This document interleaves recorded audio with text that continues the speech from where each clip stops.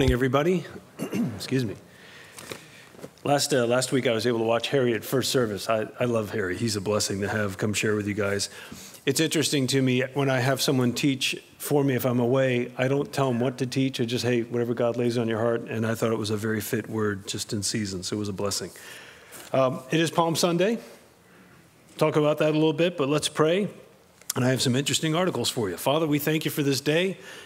We ask you would be with us. We pray, Lord, our hearts would be open to you. What exciting times we're living in, Lord.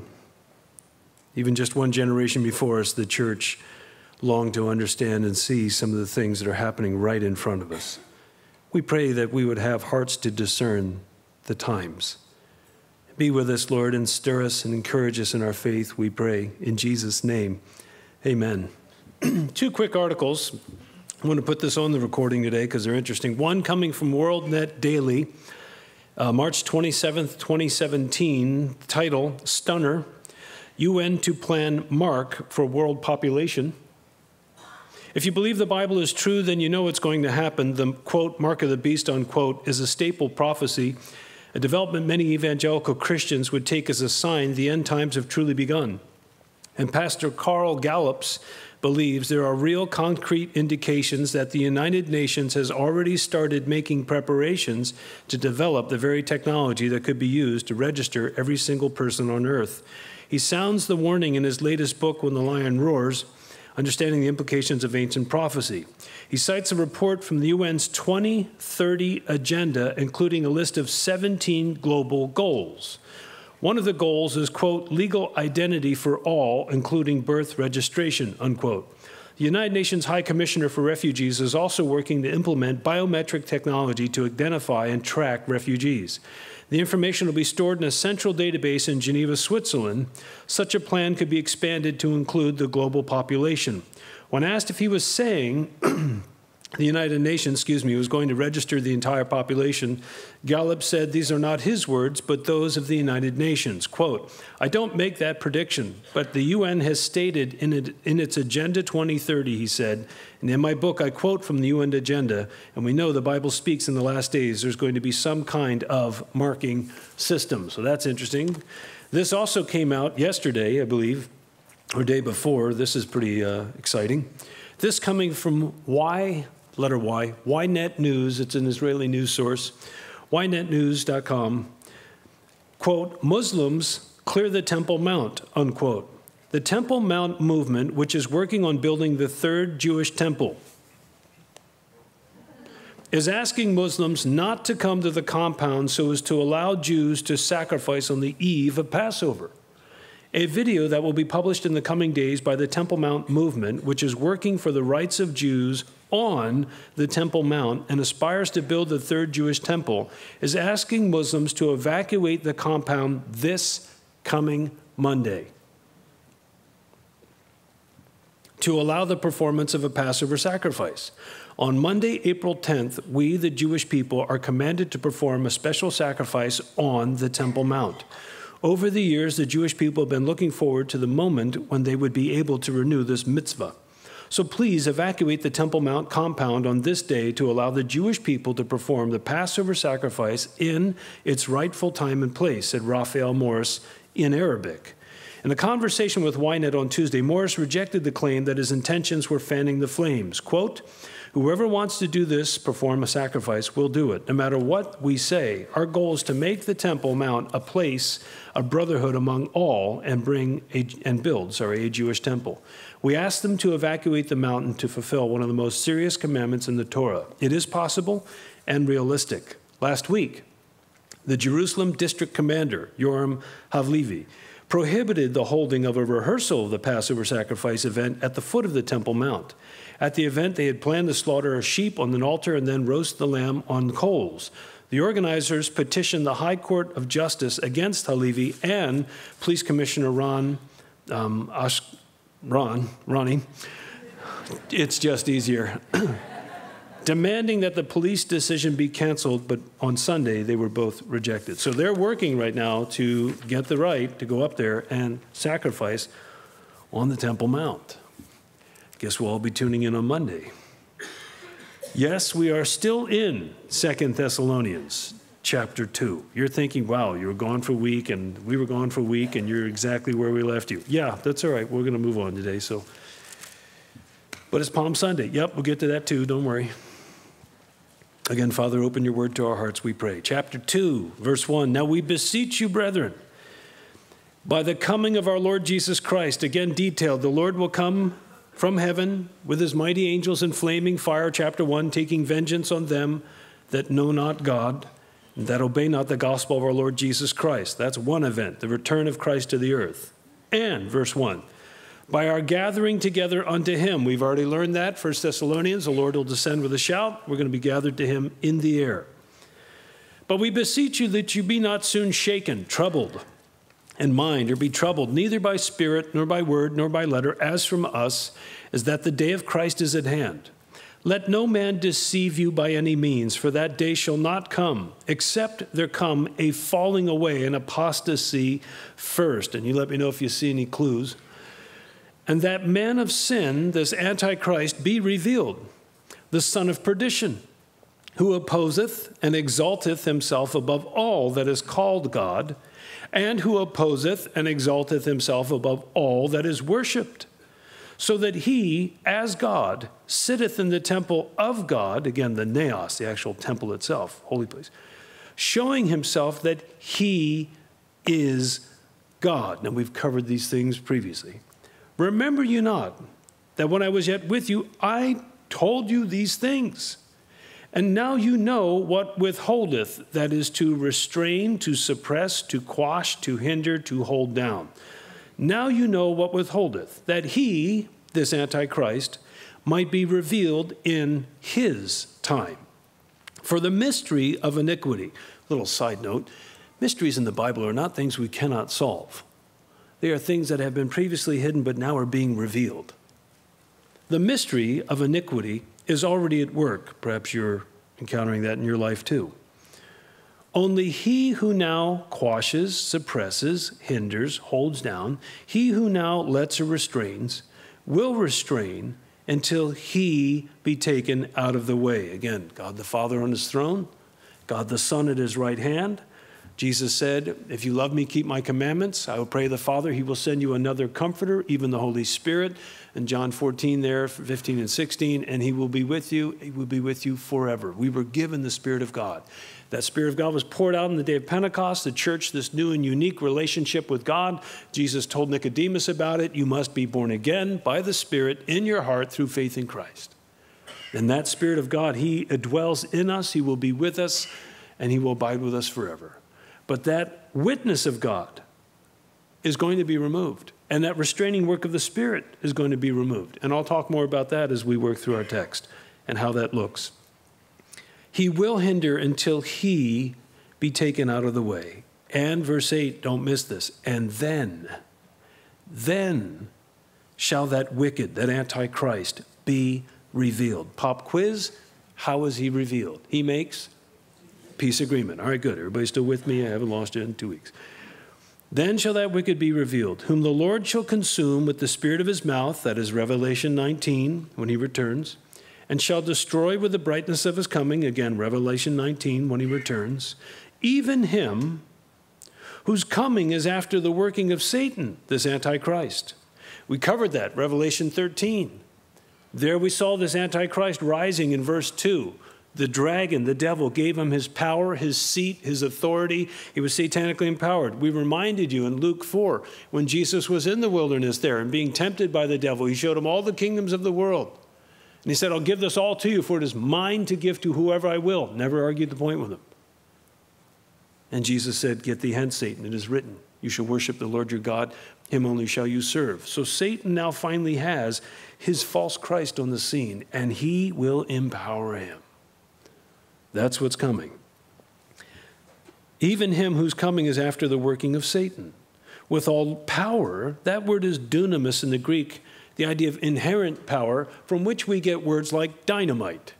With all power, signs, that is, events or miraculous things that bear significance, and lying, deceitful wonders, and that is miracles or signs, false miracles Satan is going to bring his own counterfeit with power, false miracles, lying wonders. I know what you're thinking. Why are signs so important? Aha, glad you asked. Left turn, 1 Corinthians chapter 1. Left turn, 1 Corinthians chapter 1. Why are signs so important? Well, Paul's preaching here, and he tells us in verse 22, 1 Corinthians, not second, 1 Corinthians chapter 1, verse 22. For the Jews require what? A sign. So, what is Satan going to use to deceive them? Signs. By the way, how strong are these signs going to be? What did Jesus say? If it were possible, they would deceive who? The very elect. Matthew 24. Great. You guys have read that. These things are going to be serious deceptions.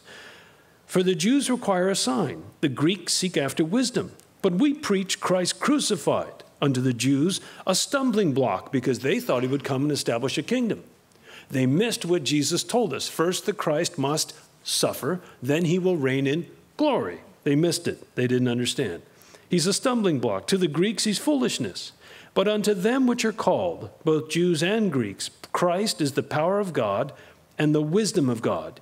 You see, because the foolishness of God is wiser than men. Amen. And the weakness of God is stronger than men. Nice. So signs are important to the Jews. Turn to John 6, further left. Signs are important to the Jews. Okay? Jesus has fed the 5,000 men plus women and children. And he used what to feed them? Five loaves and two fish. Good, you've read the account. And when the people saw this, they began to say in John's gospel, hey, maybe, and they wanted to take him and make him king. So Jesus sent his disciples into the boat. They cross over the other side. Jesus joined them eventually. And how did Jesus join them? On foot across the Sea of Galilee. Everybody? Okay, good. And of course, you know how the account went. Well, the next day, verse 25, when they found Jesus on the other side of the sea, knowing the disciples had left without him, they said, Rabbi, when camest thou? How'd you get here? And Jesus gave them again some answers. Verse 28, they said to him, What shall we do that we might work the works of God? And Jesus answered unto him, This is the work of God, that you believe on him whom the Father has sent. Well, as they burped up the fish and bread from the miracle the day before, sorry, I added that just for sake of clarity because we're jumping in mid text. They said to him, Well, what sign will you show? Hey, there's that sign thing again. What sign will you show that we may see and believe? As they're burping up yesterday's meal. Huh.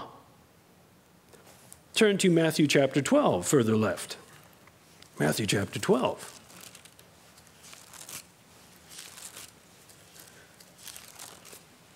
Verse 22 There was brought unto Jesus one possessed with a devil, blind and mute or dumb. As I told you before, according to historians, the Jews felt you had to, for delivering out a demon, get the name of a demon. And so if someone was mute, they felt that case was hopeless because they couldn't you know, ascertain the name and deal with the demon. So this would be a hopeless case to them. They would give up. There was brought to Jesus one possessed with a devil, blind and mute, and he healed him insomuch that the blind and the dumb both spake and saw. And all the people were amazed and said, Is not this the son of David? That is a title for Messiah. Is not this the Messiah? But when the Pharisees, the religious leadership, heard it, they said, This fellow cast out not doth not cast out devils, but by Beelzebub, the prince of devils, satanic power. Jesus, knowing their thoughts, schools them on the fault of their logic and verse 38, they said this Then certain of the scribes and Pharisees answered, saying, Master, we would see a sign from you. Wait a second. What did he just do in verse 22? Healed a hopeless case. You mean you can have signs in front of you and yet be too blind to see them? Yep. Okay, well, back to our text.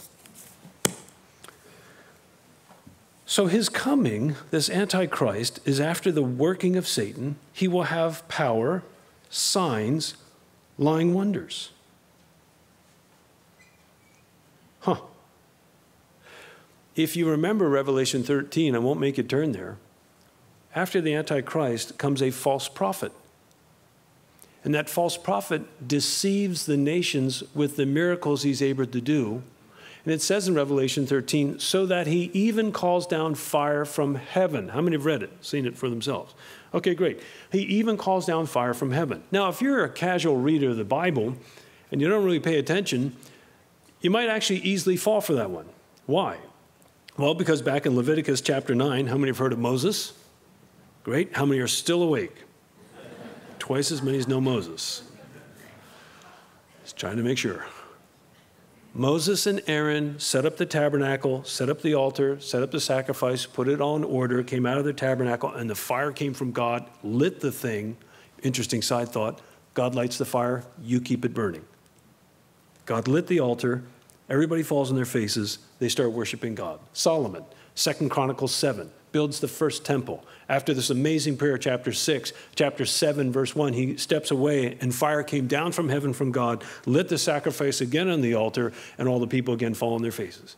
Israel falls into a period of apostasy, divides into two kingdoms. In the north, they begin to worship Baal or Baal. Elijah finally has a challenge to the prophets of Baal and also Ahab, who's married to Jezebel. How many have heard of her? Right, you got a sense of the kingdom. And so he goes to Mount Carmel, faces down the 400 plus prophets of Baal. Mount Carmel's home turf for Baal. It's like the best place you could be to worship him. Here's our competition. You guys call on your God, I'll call on the true and living God, the God that answers with fire, he's God. They said, Good, game on. They spent all day calling out the Baal, cut themselves, bleeding everywhere, nothing happens. By the time of the evening sacrifice, Elijah sets up the stones, sets out the sacrifice, has them pour water on it repeated times, digs a trench to make sure it's nice and wet, and then says, Hear me, Lord, hear me, that they may know you're turning their hearts back to them. And fire came down from God and destroyed the sacrifice, the wood, burned up the stones, the dust, the water, everything. And the people fell on their faces and said, The Lord is God. Second Kings chapter 1, Elijah, still prophet. Now Ahaziah, the wicked son of Jezebel and Ahab, is sick. Long story short, wants to interrogate Elijah. So he sends a captain with a host of 50 to go get Elijah. And he says, You man of God, Come down here. We want to talk to you. The king wants you. He said, If I be a man of God, may fire come down from heaven and devour you all. Boom, all 50 gone. The king going, Where are they? Sends another captain of 50 with 50. They pass the charred remains of their first host.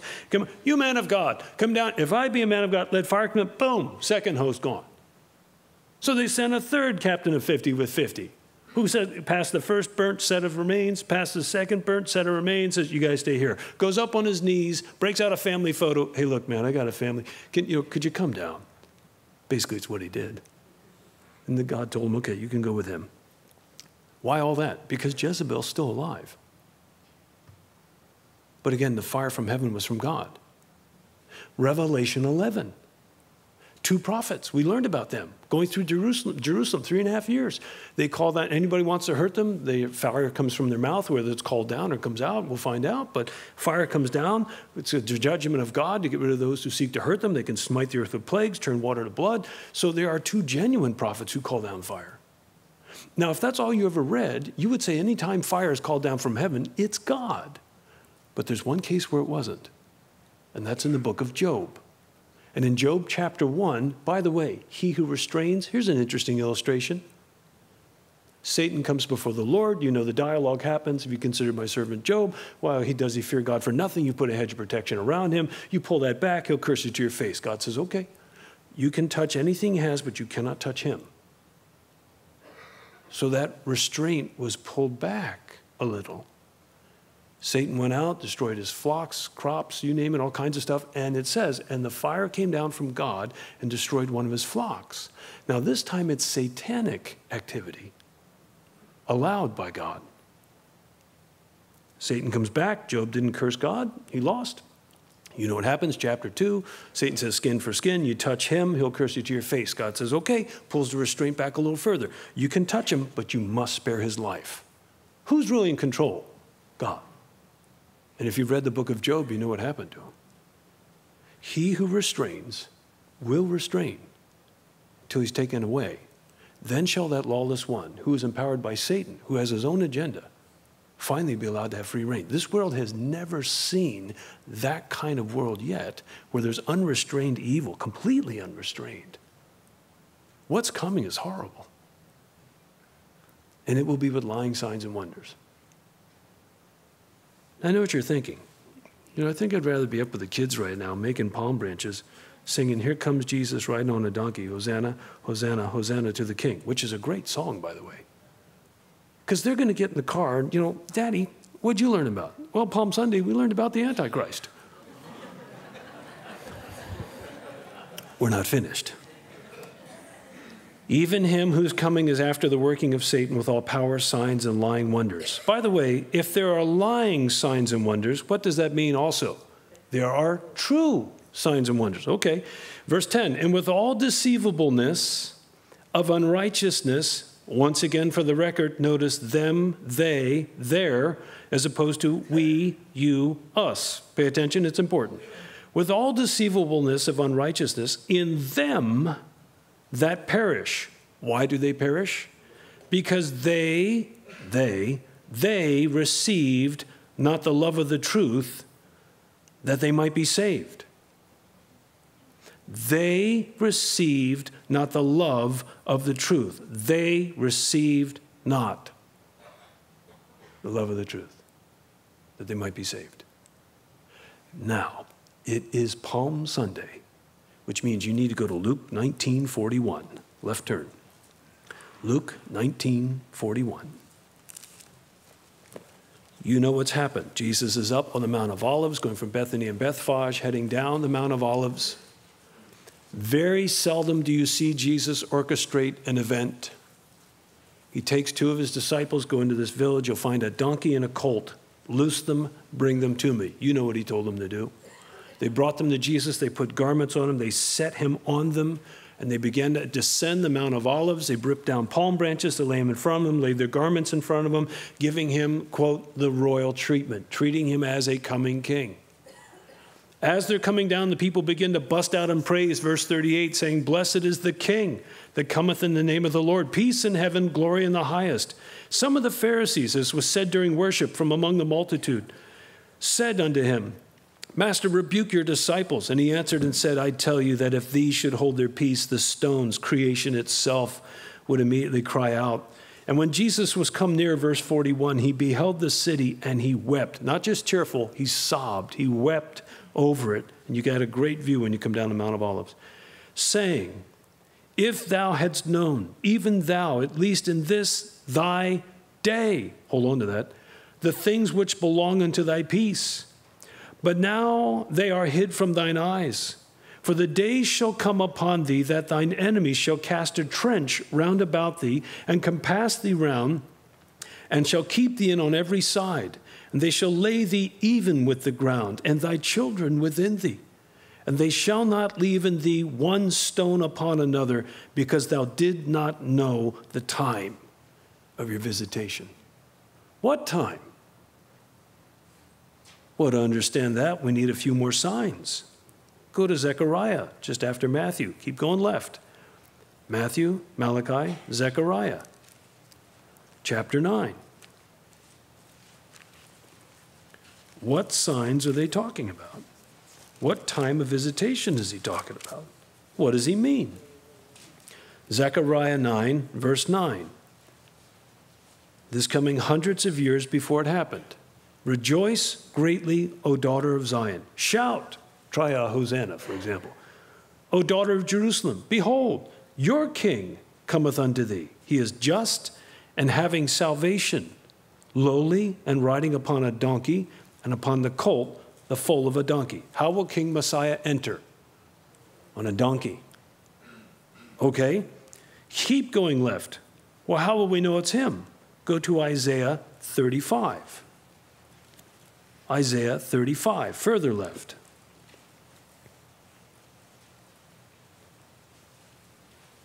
Isaiah 35, 3.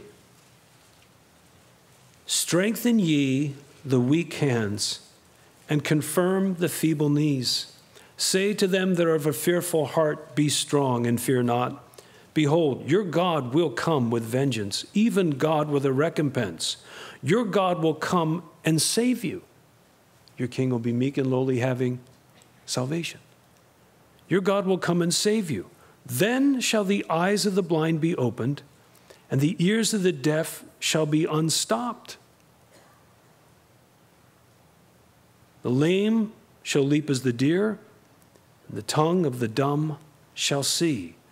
Now, on your way back, stop at Daniel chapter 9. This is Palm Sunday. Daniel chapter 9.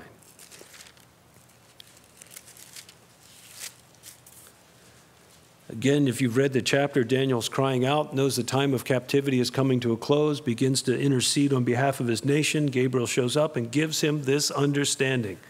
Verse 24 77s, seven year periods, are determined upon thy people, the Jews, upon thy holy city, Jerusalem. Six things will be accomplished. One, finish the transgression, make an end of sins, make reconciliation for iniquity. That is the first time the Christ comes when he suffers.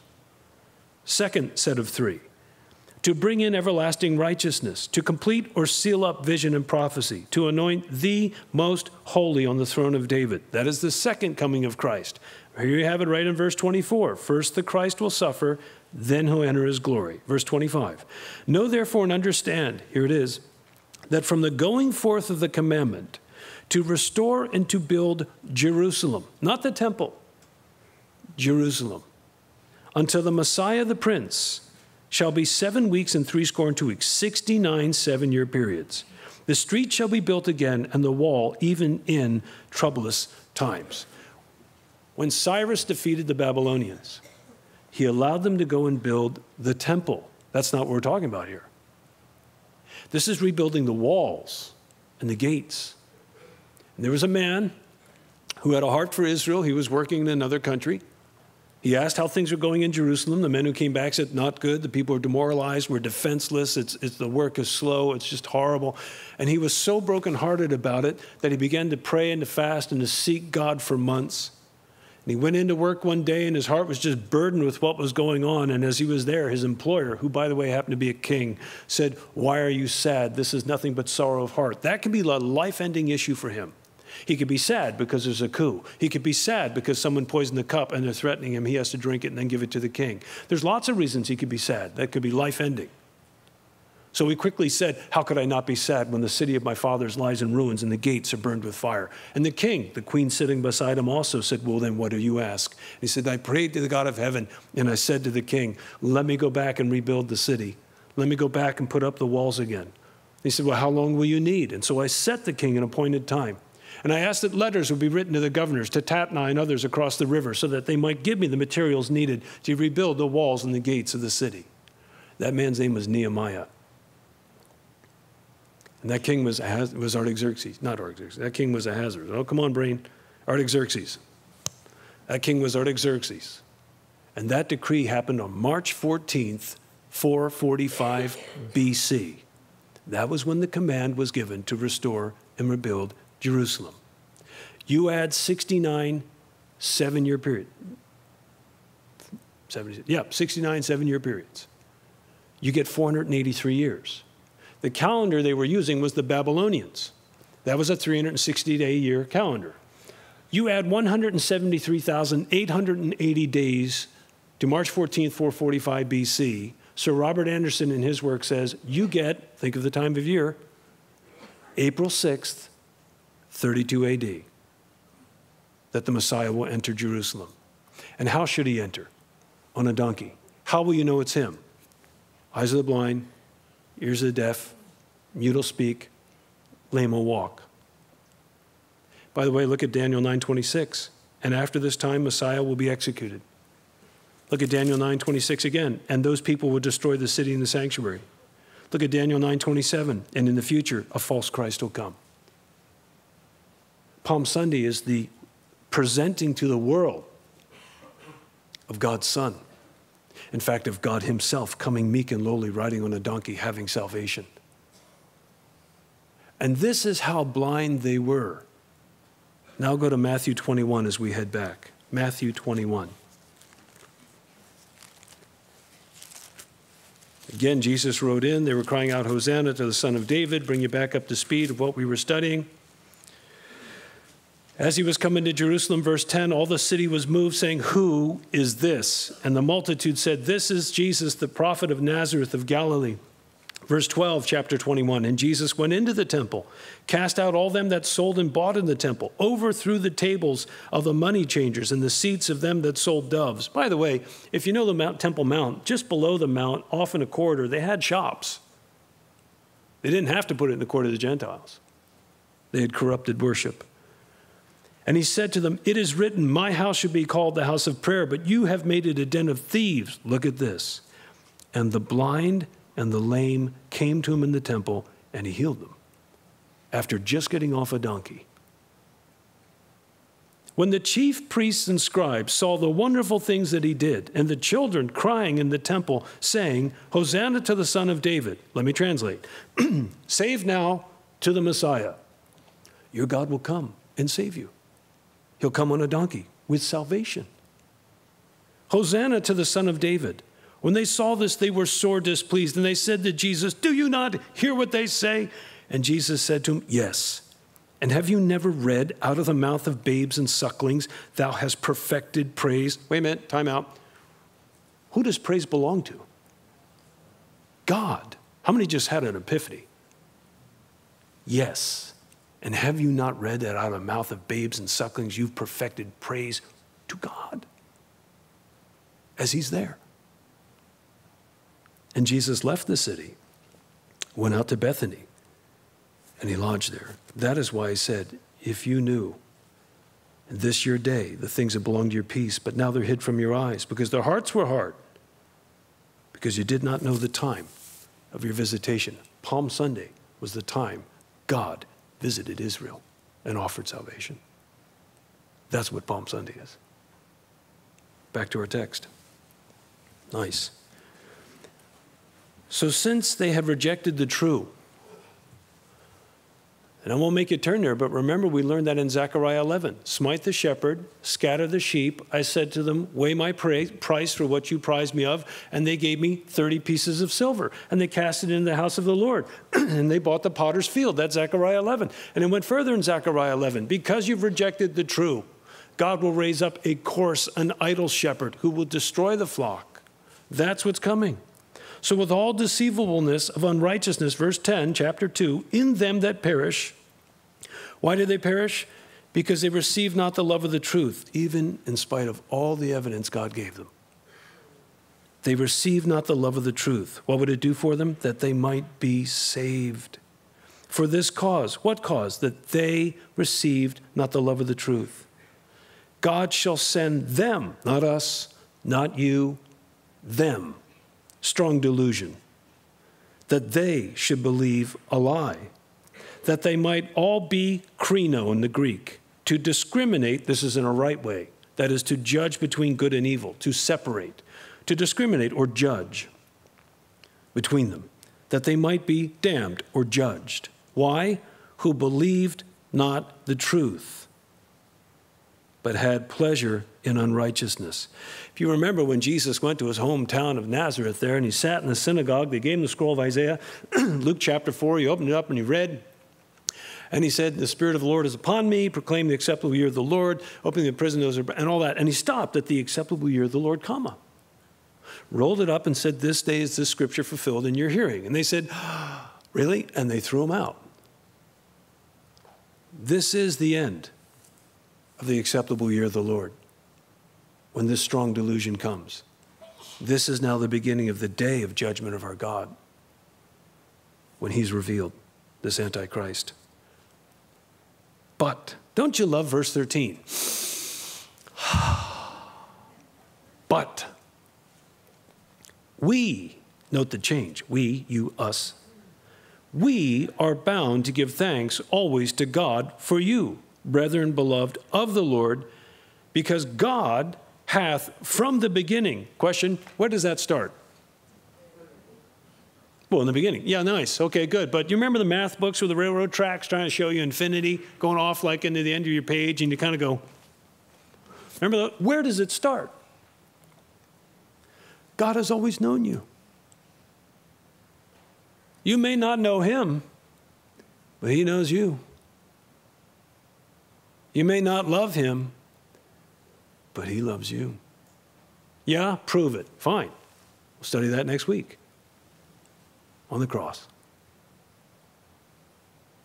He knows you. But do you know him? Because he is going to separate sheep from goats. We are bound to give thanks always to God for you, brethren, beloved of the Lord, because God hath from the beginning chosen, that's haireo, to take to oneself. He's chosen you to salvation through sanctification of the Spirit. That's where God takes off the old man we used to be, turns us into the new man and new woman we should be. How many of you got to experience sanctification the last week, like me? Anybody else? Liars, you just got sanctified. We're always being challenged by God. It's a lifelong thing till we're gone. Through sanctification of the Spirit and belief of the truth, whereunto He called you. It's His dime.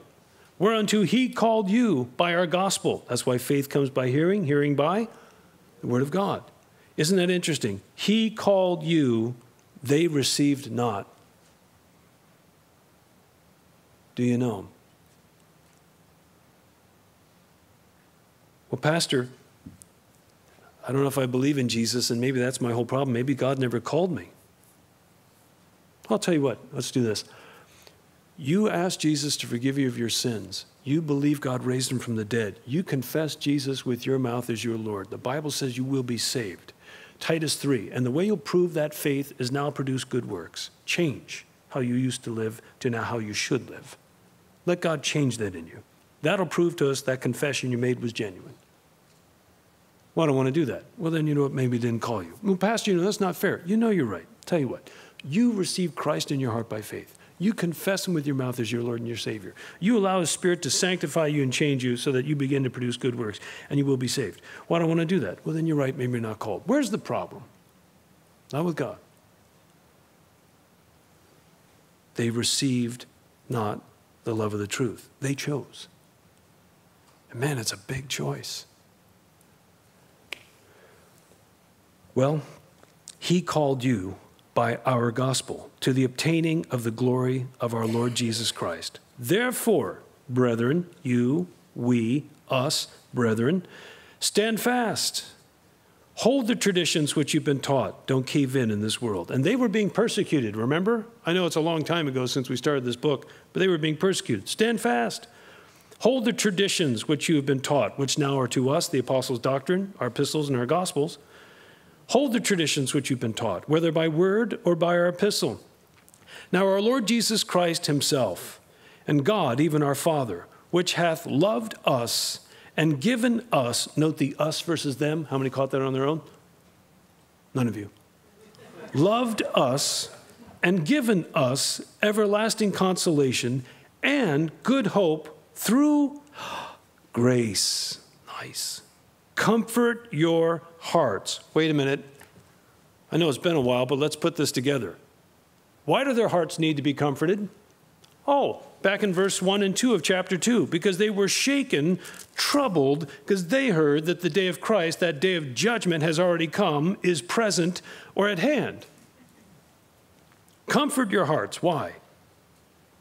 Because there's going to be a falling away first, the man of sin is going to be revealed, and you were chosen to salvation. Now that goes back to the first letter. God has not appointed us to wrath, but to obtain salvation. Look, you don't have to agree with me. Go but study it for yourself. How could we be comforted if we know we're going to get shellacked? Interesting. The day has not yet come, and the idea here, in my opinion, is and you who believe will not suffer through it. You go study for yourself. Comfort your hearts and establish you in every good word and work. And the church fainted, saying hallelujah, because we finally finished chapter 2. Let's stand, let's pray. Father, we thank you for your word. I pray for those, Lord, who have not received the love of the truth, whether they're watching or they're here listening. Can't think of a better week to finally open our hearts and our eyes to you than the week of your passion, where you laid it all out for us. On Friday, as we gather, Lord, that garden where you surrendered everything, your son laid it all down, and you gave him up so the wrath of God could be placed on him instead of us. Lord, how I pray for anyone here that doesn't know you. May the Spirit of God so call them in their heart that they finally surrender to you. Thank you for loving us, Lord. Strengthen us for the week ahead. Give us open doors to talk about the hope we have in Jesus. And thank you, Lord. It's good to be your bride. You're the best groom ever.